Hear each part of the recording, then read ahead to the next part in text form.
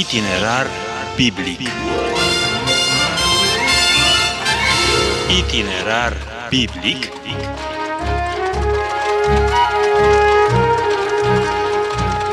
Itinerar biblic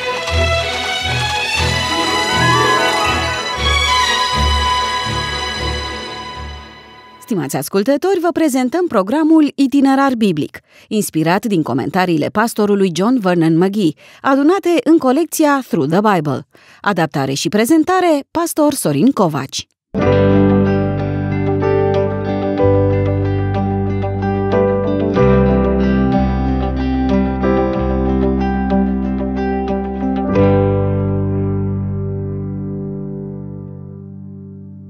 Dragi prieteni, este nevoie ca uneori Dumnezeu să ne treacă prin locuri și întâmplări care nu ne convin și nici nu le înțelegem. Mai greu este și atunci când uităm că Dumnezeu dorește întotdeauna binele celor ce îl iubesc. Din această cauză, ne este atât de greu să înțelegem care este acest bine, unde îl găsim. Ce bine poate să fie atunci când suferim? Dacă lui Dumnezeu îi pasă cu adevărat de noi, atunci de ce ne face să suferim atât? Poate că ați auzit sau experimentat astfel de întrebări. Nu este ușor să răspunzi la acestea pentru că nu este ușor să prescrii rețete ale uitării și succesului în astfel de situații. Cert este că Dumnezeu folosește astfel de situații în care noi nu găsim nicio plăcere pentru a face ceva fie în viața noastră, fie în viața altora. Dacă luăm viața lui Moise, ceea ce pentru el nu a fost ușor, a însemnat o mare binecuvântare pentru alții. El a trăit până la vârsta de 40 de ani în probabil cel mai frumos palat al acelor vremuri, beneficiind de tot ceea ce putea lumea oferi mai bun. Și din această poziție ajunge undeva în deșert, trăind în nisip, căutând un pic de verdeață pentru animalele socrului său. Cum ar fi putut considera Moise acest lucru? Putea el să-i spună binecuvântare? Încă nu. Vedeți, noi ne grăbim adesea și o luăm chiar înaintea lui Dumnezeu, Anumite lucruri le considerăm binecuvântări și apoi se dovedesc de fapt a fi încercări pentru noi. Altele le considerăm încercări, vremuri grele, suntem supărați pe Dumnezeu și când colo ele se dovedesc a fi adevăratele binecuvântări. Dumnezeu ne trece prin acele necazuri pentru a ne pregăti pentru adevăratele bucurii, pentru adevăratele lucruri pe care vrea să ni le ofere. Nu întotdeauna ele sunt pentru noi. Aduceți-vă aminte că nici Domnul Isus nu a avut parte de mare fericire. El a fost mereu vânat, urmărit de liderii religioși ai vremii. În cele din urmă este pus pe cruce. Pentru cineva care suferă o astfel de pedeapsă, din perspectiva noastră, el este unul care greșește și își merită pe deplin pedeapsa. Dar Domnul Isus se dovedește a fi unul curat și gata să ofere curăție. El a suferit pentru ca noi să fim liberi de sub puterea păcatului. Moise a avut și el multe de îndurat pentru că Dumnezeu îl pregătea pentru ceea ce avea să fie un mare act, eliberarea poporului evreu.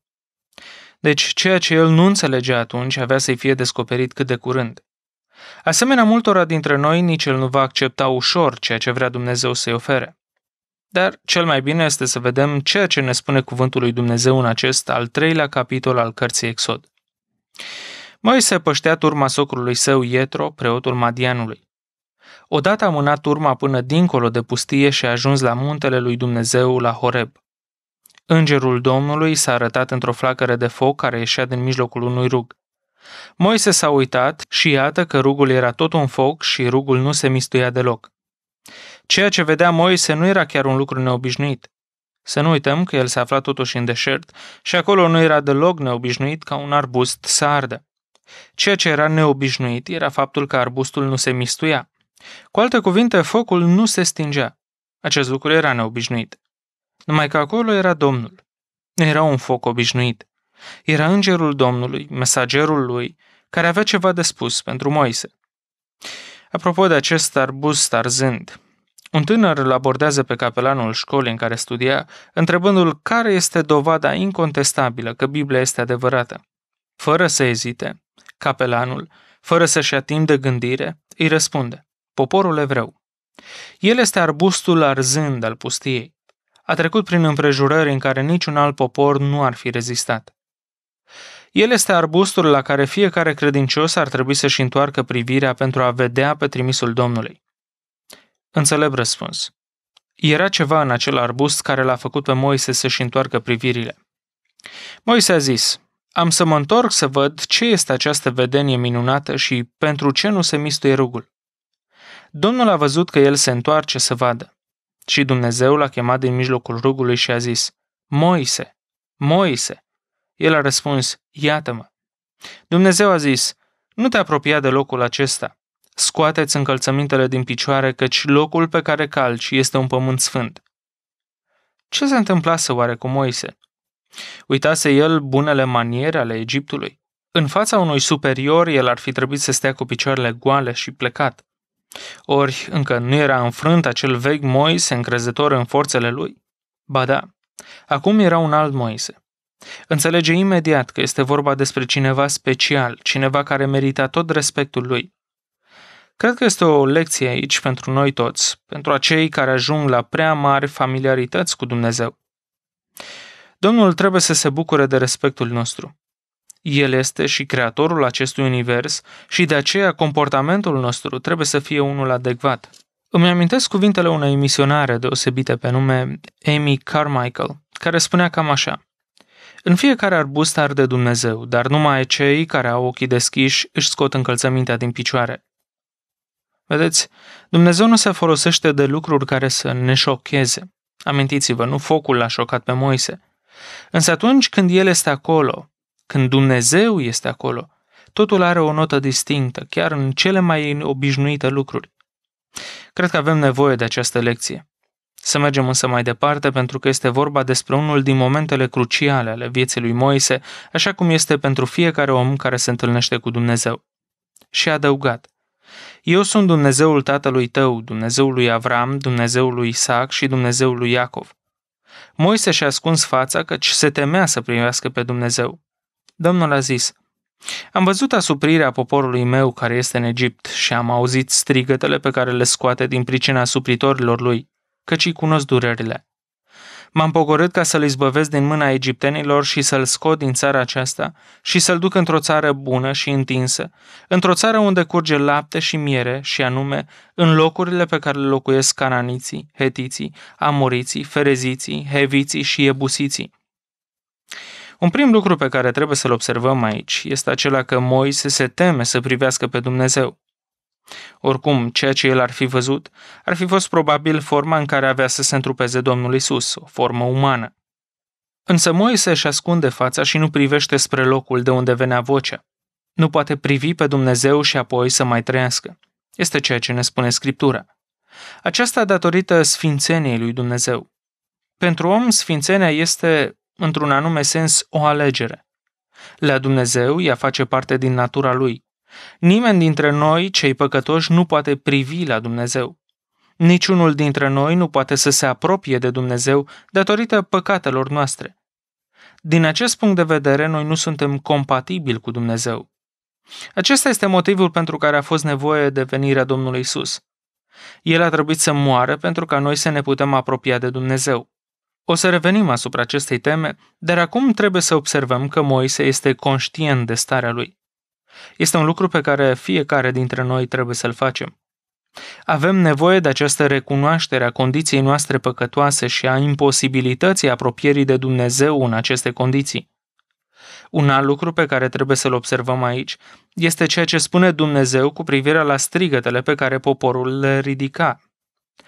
Lucrul acesta reprezintă pentru noi o asigurare că nicio cerere nu este ignorată de Dumnezeu. Acum, este un anumit mit, o anumită credință clădită în mod greșit pe baza acestui verset. Despre ce este vorba? Domnul spune aici că aceste strigăte ale poporului s-au urcat până la el. Atunci au venit unii oameni care au spus, acesta este modul în care Dumnezeu ascultă rugăciunile. Adică, rugăciunile noastre sunt depozitate și atunci când ele ating acel număr necesar, ele sunt aduse înaintea lui Dumnezeu. Este fals. Exprimarea aceasta nu este decât figurativă, arătând cât de mare era suferința poporului. În ce privește rugăciunea, nu aceasta este rațiunea după care Dumnezeu ne ascultă. Sunt, într-adevăr, cazuri în care Dumnezeu intervine după un anumit timp. Sunt alte cazuri când El intervine într-o clipă. Avem, de exemplu, cazul împăratului Iosafat. Acesta se afla într-o luptă și dușmanii s-au apropiat de el ca să-l omoare. El a țipat, observați, nici măcar nu a avut timp să îngenuncheze și să rostească o rugăciune. Doar a țipat și a fost ajutat de Dumnezeu. Pentru detalii citiți în Cartea 2 Cronici, capitolul 18, versetul 31. Este deci că nu la o teorie despre răspunsuri la rugăciune se referă Scriptura aici, ci la dificultățile pe care le întâmpina poporul evreu. Oricum, Dumnezeu ia aminte întotdeauna la rugăciunile noastre. Ele nu rămân neascultate, chiar dacă, în aparență, nu primim răspunsul pe care îl dorim. De fapt, nici nu este nevoie să primim răspunsul pe care îl dorim, ci important este să primim răspunsul de care avem nevoie. Trebuie să credem că atunci când iubim pe Dumnezeu, tot ce ne oferă El sunt cele mai bune lucruri pentru noi. Deci, Dumnezeu hotărăște eliberarea poporului. O altă învățătură importantă o găsim în acest verset 8. Este vorba despre faptul că atunci când Dumnezeu intervine și eliberează, El nu eliberează numai de ceva, și eliberează și către ceva. Cu alte cuvinte, nu ne scoate numai dintr-o stare, ci ne și îndreaptă către ceva. Atunci când am fost izbăviți de păcat, când am fost scoși din această stare de păcat, am fost scoși pentru neprihănire, pentru sfințenie. Nimeni nu poate să aștepte numai o direcție a izbăvirii. Nu putem lua numai iertarea păcatelor, trebuie să acceptăm și sfințirea. Și aici, dragi prieteni, sunt câteva lucruri de spus. Sfințenia este într-adevăr și o stare, dar mai este și proces. Ce vreau să spun? Atunci când credem în jertfa Domnului Isus, noi suntem izbăviți, suntem trecuți pe teritoriul neprihănirii. Din acel moment, Dumnezeu ne declară sfinți, puși deoparte pentru El, curățiți de păcate. Numai că noi trebuie să și trăim pe măsura acestei stări. Aceasta însă înseamnă un proces de lungă durată. Este un proces în care, în mod deliberat, oferim Duhului Sfânt al lui Dumnezeu controlul asupra vieții noastre. Măsura în care El controlează viața noastră este măsura de sfințenie pe care o practicăm. Cine crede că poate lua numai iertarea, numai sfințirea ca poziție, se înșală. Dumnezeu salvează de la și către ceva. Trebuie să acceptăm acest lucru. Poporul a fost salvat din robie egipteană și îndreptat către țara pe care Dumnezeu a pregătit-o pentru ei. Este foarte adevărat, la un moment dat ei au vrut să se întoarcă înapoi. Însă, ei erau eliberați cu o destinație precisă. Deci, Dumnezeu are întotdeauna ceva pregătit pentru copiii lui. Noi nu am fost doar salvați de pe pământul acesta, ci suntem salvați pentru noul Ierusalim pe care El l-a pregătit pentru aceia care au crezut în mântuirea trimisă prin Domnul Isus. Dar, mergând mai departe, ajungem la încredințarea misiunii lui Moise. M-am pogorât ca să-l izbăvesc din mâna egiptenilor și să-l scot din țara aceasta și să-l duc într-o țară bună și întinsă, într-o țară unde curge lapte și miere, și anume în locurile pe care le locuiesc cananiții, hetiții, amoriții, fereziții, heviții și ebusiții. Iată că strigătele izraeliților au ajuns până la mine și am văzut chinul cu care îi chinuiesc egiptenii. Acum, vino, eu te voi trimite la faraon și vei scoate din Egipt pe poporul meu, pe copiii lui Israel. Observați care este propunerea pe care o face Dumnezeu lui Moise. Este exact ceea ce a vrut Moise să facă cu 40 de ani mai înainte. Atunci, arogant, plin de sine, a acționat după propria înțelepciune și, fire impulsivă, a crezut că o să rezolve totul singur. A omorât un egiptean și a crezut că va fi la fel de simplu cu toți ceilalți numai că nu în același mod au înțeles chiar compatrioții lui. De aceea a fost nevoie ca Moise să ajungă să petreacă 40 de ani în deșert, acolo unde Dumnezeu avea să-l învețe anumite lecții. Dar acum a venit timpul ca Moise să facă ceea ce dorise. Dar mai este oare același Moise? Să vedem. Moise a zis lui Dumnezeu, Cine sunt eu ca să mă duc la faraon și să scot din Egipt pe copiii lui Israel? Mai este oare vreo urmă de aroganță în cuvintele lui Moise? Nu. El este un altul. Nu mai este acel om tânăr, puternic, conștient de puterea lui, de capacitatea lui. Apropo, adesea este greu pentru Dumnezeu să ne folosească în anumite lucrări importante, deoarece suntem prea puternici, suntem prea tari. Nu suntem gata să spunem cine este Dumnezeu. Mai degrabă suntem gata să spunem cine suntem noi. Moise are acum o problemă. Cine este el? Și nu este vorba de o criză de identitate. Este vorba despre lecția zmereniei, a umilinței pe care Moise a învățat-o foarte bine în cei 40 de ani. De acum nu mai este vorba de puterea și capacitatea lui, dar în schimb are de partea lui cea mai mare putere din univers, îl are de partea lui pe Dumnezeu. Dumnezeu a zis, eu voi fi negreșit cu tine și iată care va fi pentru tine semnul că eu te-am trimis. După ce vei scoate pe popor din Egipt, veți sluji lui Dumnezeu pe muntele acesta. Dumnezeu îi dă lui Moise două lucruri aici. Este vorba despre o asigurare și este vorba despre un semn. Asigurarea este aceea că Dumnezeu va fi mereu cu Moise. Moise nu va mai fi singur de această dată. Dumnezeu este acela care va conduce întreaga acțiune. Când vine vorba de semn, este puțin altfel. Semnul este unul cu privire la viitor. Adică ceea ce se solicită de la Moise în acest moment este credința. De fapt, chiar scritorul epistolei către evrei ne spune că este vorba despre credința lui Moise. În capitolul 11, versetul 27, el spune așa, Prin credință a părăsit el Egiptul fără să se teamă de mânia împăratului, pentru că a rămas neclintit ca și cum ar fi văzut pe cel ce este nevăzut. Cu alte cuvinte, privirea lui Moise era orientată înspre viitor și înspre Dumnezeu. Dar dacă este vorba despre credință, Moise are și el o întrebare. Moise a zis lui Dumnezeu, Iată, când mă voi duce la copiii lui Israel și le voi spune, Dumnezeul părinților voștri m-a trimis la voi, și mă vor întreba, care este numele lui, ce le voi răspunde? Oare la ce întâmplare se gândește Moise în această situație? Nu cumva se gândește la experiența trecutului. El contase pe sprijinul fraților lui, dar ei l-au respins.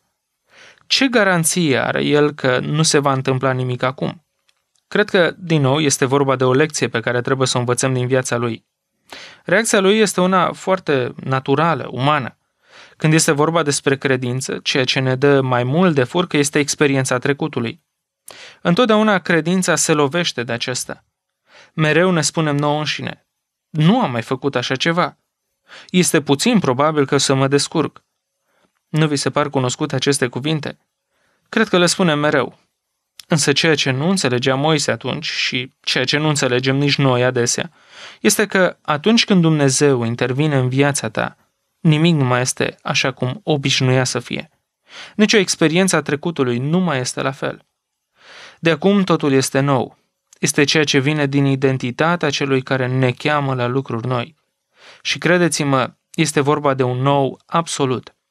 Dumnezeu a zis lui Moise, Eu sunt cel ce sunt și a adăugat, vei răspunde copiilor lui Israel astfel, Cel ce se numește Eu sunt, m-a trimis la voi. Cred că niciodată nu a fost dat un sens mai adevărat acestor cuvinte. Eu sunt cel ce sunt. Aceste cuvinte au o semnificație deosebită. Eu sunt, în limba ebraică, reprezintă o tetragramă sau un cuvânt format din patru litere. De asemenea, aceste două cuvinte au fost rostite adesea ca fiind numele lui Dumnezeu, Iahve. Acest nume a căpătat pentru copiii lui Israel o asemenea valoare încât nici nu îl pronunțau. Pentru a nu profana numele lui Dumnezeu, ei au decis nici să nu-l rostească. Atunci când se refereau la Dumnezeu, ei foloseau alte nume pe care le are Dumnezeu. De exemplu, în Geneza, atunci când este prezentat Creatorul Universului, el este prezentat cu numele de Elohim, ceea ce înseamnă că el este Dumnezeul cel atotputernic. În Exod găsim că Dumnezeu are numele Eu sunt cel ce sunt, Iahve. O să vedem în capitolele următoare că mai sunt și alte nume sub care este cunoscut Dumnezeu. Cert este că Dumnezeu este cel care există prin sine însuși și prin nimic și nimeni altcineva. El nu este condiționat de nimic și de nimeni. Acesta este Dumnezeul care se înfățișează înaintea lui Moise. Lui încredințează această misiune. Dumnezeu a zis lui Moise, Eu sunt cel ce sunt și a adăugat. Vei răspunde astfel copiilor lui Israel. Cel ce se numește Eu sunt m-a trimis la voi. Așa să vorbești copiilor lui Israel, i-a spus Dumnezeu lui Moise. Domnul Dumnezeul părinților voștri, Dumnezeul lui Avram, Dumnezeul lui Isaac și Dumnezeul lui Iacov m-a trimis la voi. Acesta este numele meu pentru veșnicie. Acesta este numele meu din neam în neam. Și Dumnezeu îl sfătuiește să-i strângă pe toți bătrânii lui Israel și să-l prezinte pe Dumnezeu. Cu siguranță că ei vor înțelege despre ce este vorba. Vor ști cine este cel ce l-a trimis pe Moise. De fapt, este o reiterare a promisiunilor pe care Dumnezeu le făcuse lui Avram, Isaac și Iacov. Dar acum sosise timpul în care acestea să se împlinească. Sosise timpul în care poporul care se forma din ei să meargă în țara pe care el le-a promis-o de atâta timp. Și Dumnezeu are și o agendă specială cu privire la popor. Ei vor asculta de glasul tău și te vei duce, tu și bătrânii lui Israel la împăratul Egiptului și veți spune, Domnul Dumnezeul evreilor s-a întâlnit cu noi. Dă nevoie să mergem cale de trei zile în pustie ca să aducem jerfe Domnului Dumnezeului nostru. Știu că împăratul Egiptului n-are să vă lase să plecați decât silit de o mână puternică. Eu îmi voi întinde mâna și voi lovi Egiptul cu tot felul de minuni pe care le voi face în mijlocul lui. După aceea, are să vă lase să plecați. Voi face chiar ca poporul acesta să capete trecere înaintea egiptenilor. Și când veți pleca, nu veți pleca cu mâinile goale. Fiecare femeie va cere de la vecina ei și de la cea care locuiește în casa ei vase de argint, vase de aur și haine pe care le veți pune pe fii și fiicele voastre și veți jefui astfel pe egipteni. Dragi prieteni, acesta este planul de bătaie pe care Dumnezeu îl prezintă lui Moise. Moise trebuie de acum să ducă acest mesaj la bătrânii poporului și să-l prezinte pe Dumnezeul în numele căruia vine. Este totuși o mare deosebire acum față de modul în care procedase Moise cu 40 de ani mai devreme. Deosebirea este aceea că atunci Moise a vrut să facă totul de unul singur. Acum el va face voia lui Dumnezeu. Așa cum vom vedea, scenariul pe care îl prezintă Dumnezeu se va respecta în tocmai, pentru că el însuși este acela care duce la îndeplinire fiecare detaliu. Dragi prieteni, adesea ne este greu să înțelegem imaginea mare, întregul scenariu al întâmplărilor din viața noastră. A fost greu pentru Moise, este greu pentru fiecare dintre noi. Însă, suntem solicitați să ne lăsăm în mâna Domnului. Prin credință vom înțelege tot ceea ce vrea Dumnezeu să facem, tot ceea ce așteaptă El de la noi. Și cu siguranță sunt mari binecuvântări acelea care ne așteaptă.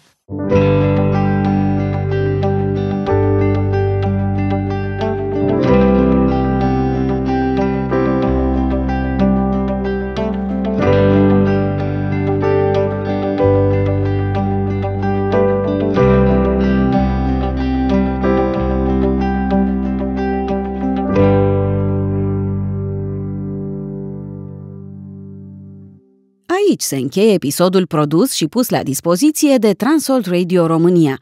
Vă anunțăm că suntem interesați de efectele sale în viața dumneavoastră. De asemenea, că puteți solicita copii ale episoadelor în format MP3 sau materialele scrise în format electronic. Contactați-ne la telefonul 021 346 2468 sau prin e-mail la adresa radio.arond.twr.ro. Vă mulțumim!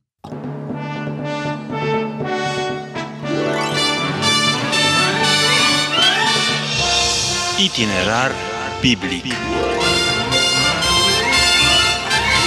Itinerar biblic.